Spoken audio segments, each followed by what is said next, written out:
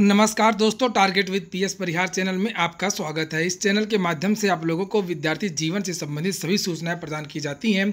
उसी क्रम में आज के इस वीडियो में भी हम लोग बात करेंगे विद्यार्थी जीवन की। विद्यार्थी जीवन से संबंधित सबसे महत्वपूर्ण सूचना है कि आजकल उत्तर प्रदेश के जो मुख्यमंत्री योगी आदित्यनाथ भर्तियों के संबंध में बड़े बड़े दावे करते हैं कि हमने चार लाख नौकरियाँ दे दी, पाँच लाख नौकरियाँ दे दी। तो ये तो अभी तक माना जाता था, चलिए ठीक है, डेढ़ दो लाख नौकरियाँ दी होंगी, उसकी जगह ये दुगना बता रहे हैं। लेकिन आज तो इतना बड़ा झूठ बोला है, जिसे बच्चा बच्चा भी जानता है, और मुख्यमंत्री योगी आदित्यनाथ ने ऐसा झूठ क्यों बोला है, इसका जवाब अब आप ही देंगे कमेंट बॉक्स में। ये सीएम योगी आदित्यनाथ का ट्विटर हैंडल है, ये मैंने खोला है, कोई स्क्रीनशॉट नहीं है और यहाँ पर आप लोग देखते जाइए।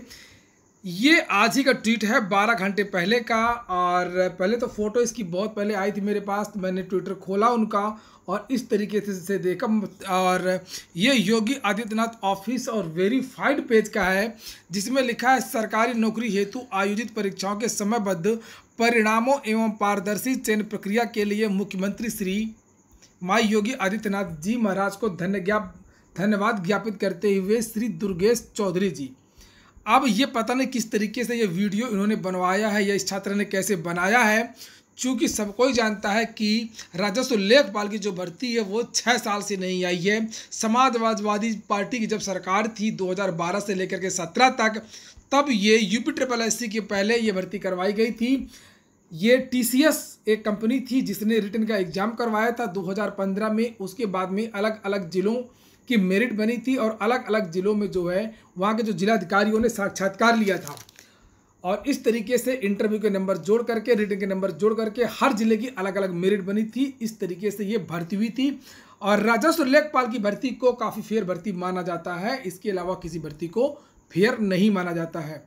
लेकिन ये भर्ती हुई थी 2015 में और योगी आदित्यनाथ की जो सरकार है, वो आई थी मार्च 2017 में।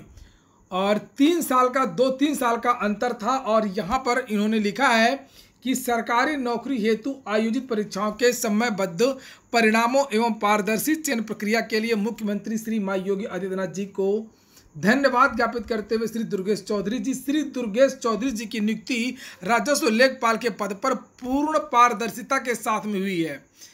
अब बताइए, ये किस तरीके से लिखा गया है और ये भर्ती कब आई थी? और मैं ये वीडियो भी आपको चला करके दिखाता हूँ कि ये क्या बोल रहे हैं। मैं राजस्व लेखपाल पद पे चयन अभी सिलेक्शन हुआ। इंटरव्यू देने के बाद फिर हमारा फाइनल रिज़ल्ट आया, जिसमें मैं राजस्व लेखपाल पद पे चयनित हो गया था।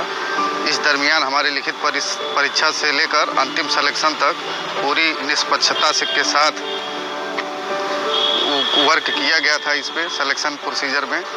और उसके बाद हमने इस विभाग में आने के बाद भी हमें काफ़ी कुछ सीखने को मिला। अंतिम व्यक्ति तक पहुंचकर उनको लाभ देने का मौका मिला। गरीब, असहाय जो भी सरकार की योजनाएँ वर्तमान में आ रही हैं, अच्छी से अच्छी योजनाएँ हैं, जिसको क्रियान्वयन करने में हम लोगों को बहुत ही उत्साह और अच्छा लगता है। योजनाएँ कल्याणकारी और गरीब लोगों के हित में हैं। हमारे माननीय मुख्यमंत्री जी उत्तर प्रदेश को बहुत बहुत धन्यवाद देता हूँ जो हमारा सिलेक्शन प्रोसीजर राजस्व लेखपाल का पूरी ही निष्पक्षता के साथ अंतिम पड़ाव तक पहुँचा। योगी सरकार।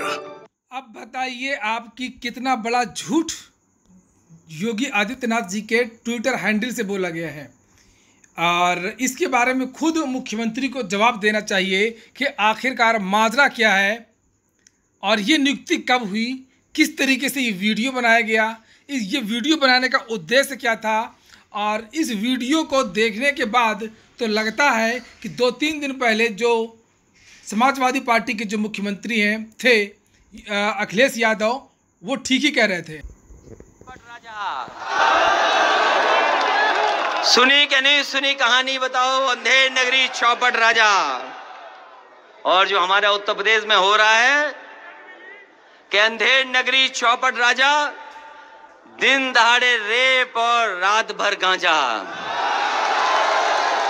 रेप और रात भर गांजा।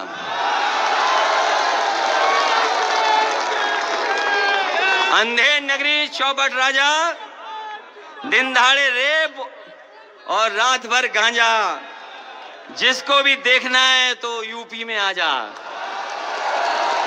बताओ, कानून व्यवस्था की क्या हालत? तो रात भर गांजा और मैं आपको कहूँगा कि आप लोगों को ज़्यादा से ज़्यादा इस वीडियो को वायरल करना डरने की कोई बात नहीं है। और आप लोग इस वीडियो को जितना ज़्यादा से ज़्यादा वायरल कर सकते हैं, इस वीडियो को आप वायरल करें।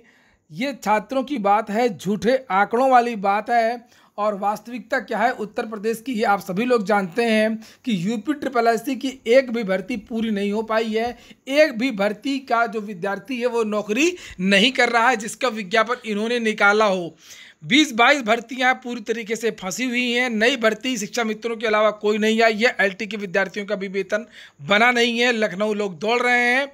और उत्तराखंड में चूँकि सरकार जो है वो बदली जा रही है, बदल बदल दी गई है, या उसकी बौखलाहट है, उसका डर है, या इमेज बिल्डिंग की जा रही है, चुनाव आने वाले हैं।